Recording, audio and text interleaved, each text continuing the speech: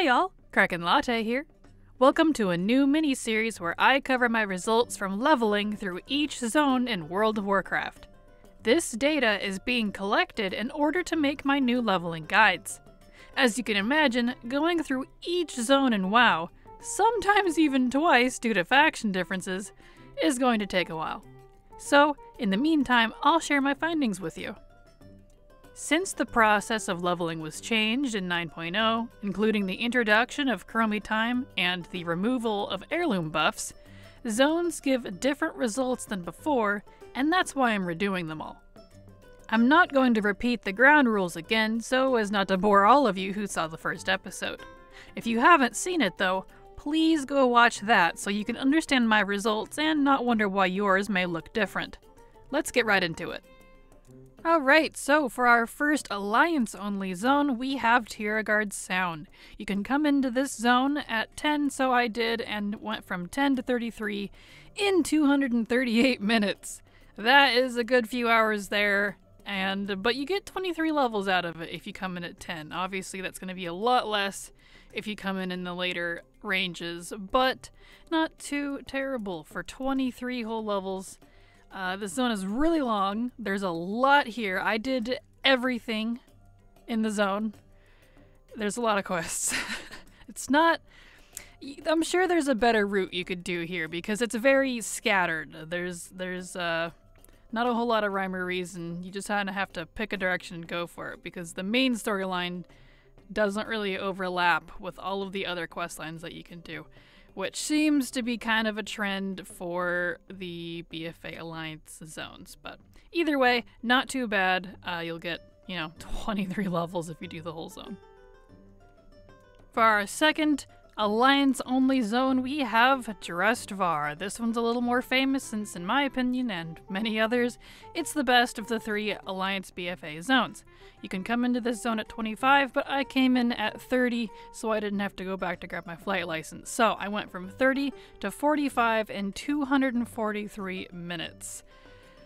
Also, a really, really long zone. That's a good few hours there. I got 15 levels in the 30s range, though, which is not bad. This is not the best zone for that range. However, it's really the because the first half of Drustvar is really good.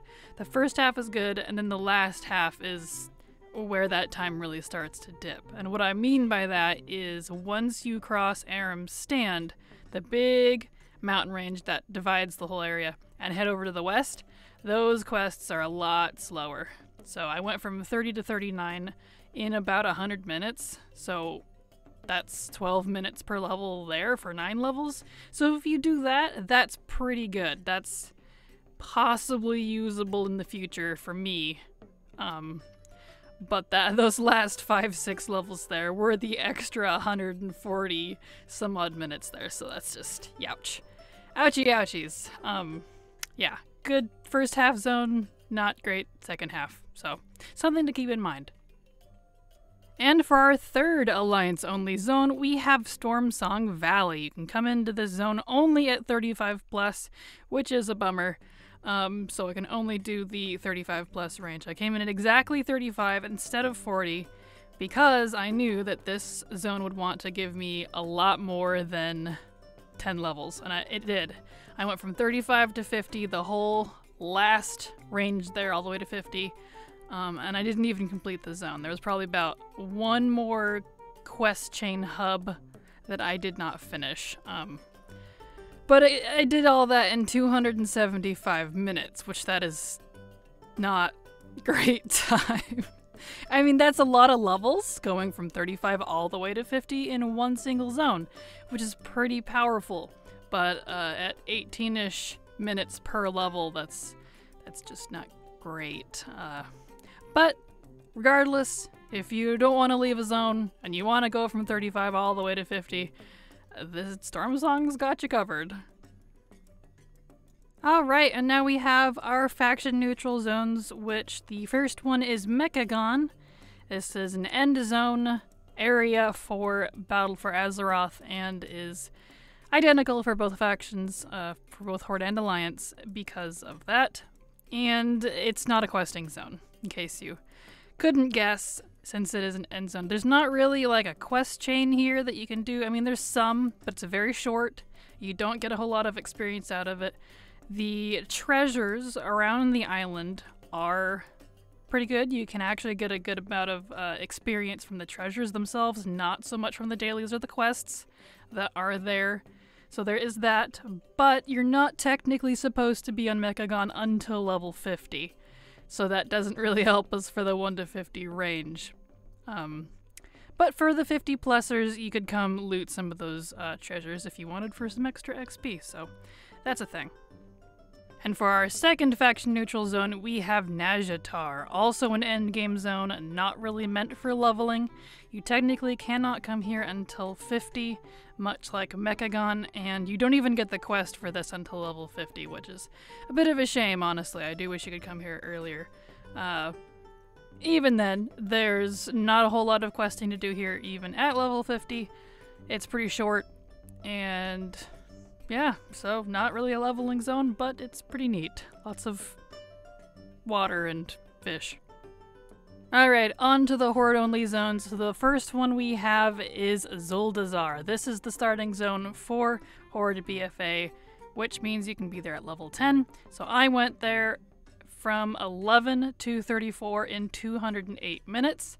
I also came back at 40 and did it from 40 to 50 in 178 because the 11 to 34 range was really good. Um, a lot better, as you can see here, than the Alliance one by a good 30 minutes. Um, and I could probably even do it better now that I have a little a better grasp on the pathing because the thing about BFA zones is there's a linear quest chain, but then there's all these other quest hubs that are not part of the main storyline quest chain. So if you get a grasp on where they're all at, you can start putting together like a good route. So I could probably even do better times here, but it's it may or may not be worth it. I mean, even in the 40 to 50 range, that's 17ish levels per uh, 17-ish minutes per level, excuse me, there. So it's it's mm, it's great, not as good as I would like. For our next horde-only zone, we have Nazmir. Similar to Drustvar, you can't come here until 25, so I decided to come here in the 30s. I actually started at 32, and I went all the way to 45 in 205 minutes. Not terrible, not amazing, right in the mediocre range. Um, much like Zuldazar and the others, you could probably have better pathing than I did uh, if you get, you know, once you get more familiar with the zone. But, uh, yeah, not, not terrible, not terrible. And for our final Horde only zone and last zone in the BFA expansion, we have Vol'dun. Much like Stormsong, you can't come here until 35, which is a shame in my opinion. And I went from 35 to 48 in 207 minutes. I actually did not hit 50 when I came here at 35 for some reason. I don't know if I missed a quest chain. I am pretty positive I did everything since I actually am really fond of this zone. So I, I know a lot of it pretty well. Um, but unlike Stormsong, I seem to not get enough out of this zone to be able to hit 50. But that's fine. Uh, it's just something to be aware of if you decide to quest here. So, one of my favorite zones in the game aside from that. So, there's that. Alright, and there we have it. That is everything for the BFA expansion, which is Kul and Zandalar zones for the Horde and Alliance. And while the summary here was short, sweet, and to the point, the testing sure wasn't because each zone is a good handful of hours to completion. So that's it was long, but learned some valuable information there. These zones aren't terrible. They're actually pretty good. They're better than most other expansions for their level ranges despite how long they take. So if you don't want to do Outland or Northrend or you know, stuff like that, Kul Tiras and Zandalar are pretty good. And the bonus is that the natural scaling goes all the way to 50. You don't have to have chromie time because technically the base time, quote unquote, that we are in is BFA. So, yeah. Uh, next up, we're going to have probably Warlords of Draenor. I have Draenor, Outland, and Northrend left. Draenor is going to be a bit of an animal because of the way the quests are set up, and I will explain that when that video comes out. Um, so expect one of the three remaining expansions left. I we'll see which one comes out next. Depends on what time I have. So, thank you so much for watching, and as always, remember, it's never too latte.